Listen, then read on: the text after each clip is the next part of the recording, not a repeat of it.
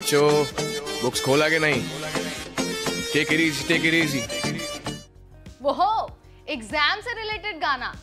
सुनने में बहुत जाना, पहचाना और बहुत इंटरेस्टिंग लग रहा होगा ना? नहीं नहीं, आप गलत सोच रहे हैं। ये एम का गाना नहीं है, ये गाना सीबीएसई का है। अब आप कहेंगे कि यार सीबीएसई गाने क्यों लिखने लग गया? वो गाने क्यों रिलीज़ कर रहा है? दरअसल आप ही के लिए किया हुआ है। यानी कि जो टेंथ और ट्वेल्थ वाले बच्चे हैं ना, उन्हीं के लिए किया हुआ है।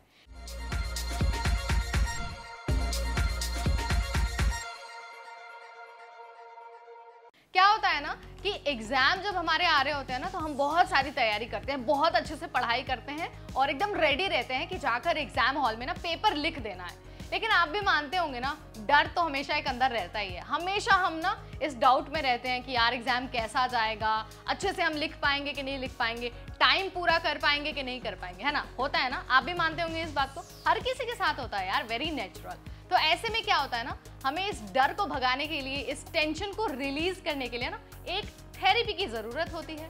और थेरेपी भी, अगर म्यूज़िक थेरेपी हो ना तो भाई सोने पे सुहागा हो जाता है, ठीक है? हम गाना सुनते हैं और टेंशन रिलीज़ हो जाती है तो हम पूरी तरह से ना किसी भी चीज़ के लिए तैयार हो जाते हैं। लेकिन गाने भी किस तरह के सुनने हैं, उसके लिरिक्स कैसे होने चाहिए, ये बहुत इंपॉर्टेंट है। मानते कि नहीं मानते, है ना? पता चले कि आपका अगले दिन एग्ज़ाम है, आप सैड सॉन्ग सुन रहे हैं या फिर दूसरा सॉन्ग सुन रहे हैं तो आप जोन ही बदल देंगे, आप किसी और दुनिया में चले जाएँगे। तो इसीलिए ना, बहुत ज़रूरी होता है कि आप एक ऐसा गाना सुने ना, जिससे आपका स्ट्रेस तो रिलीज़ हो ही, साथ ही आपको वो एग्ज़ाम के लिए ना मोटिवेट भी करे। इसीलिए सीबीएसई e ना, बहुत टाइम बाद एक ऐसा एंथम लेकर आ गई है, जिसे सुनने के बाद आपको मज़ा तो बहुत आएगा, आप डांस तो बहुत करेंगे, लेकिन जो आपकी टेंशन है ना, वो छूमंतर हो जाएगी। तो आपको ना, मैं उस एंथम का, उस सॉन्ग का थोड़ा सा लिरिक्स बता देती हूँ और उसे सुनने के बाद ना I am sure you gonna love it ठीक?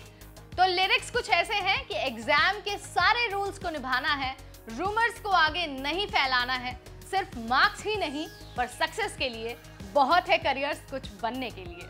सीबीएसई e ने ये गाना अपने ट्विटर हैंडल से शेयर किया है। अगर आप चाहें तो आप ट्विटर पर जाकर चेक कर सकते हैं, या फिर आप डायरेक्टली इस लिंक पर क्लिक कर सकते हैं। यहाँ पर आपको पूरा गाना मिल जाएगा। So if you are a candidate who is appearing for the board exams then go check it out the song और अगर सॉन्ग सुनने के बाद आपको मज़ा नहीं आया सॉन्ग सुनने के बाद अगर आपकी टेंशन दूर नहीं हुई ना तो let me know in the comment section क्योंकि बहुत टाइम बाद ये गाना आया है तो आई एम श्योर आपको एक बार तो इसे चेक करना ही चाहिए। अगर आपको ऐसी इंटरेस्टिंग वीडियोस ऐसे अपडेट्स और चाहिए तो you know exactly what you have to do जाने से पहले चैनल को सब्सक्राइब करना है बेल आइकॉन को प्रेस करना है, और हाँ ये वीडियो पसंद आया तो इसे लाइक और शेयर तो ज़रूर करना है। Till then this is me Neha Upadhyay signing off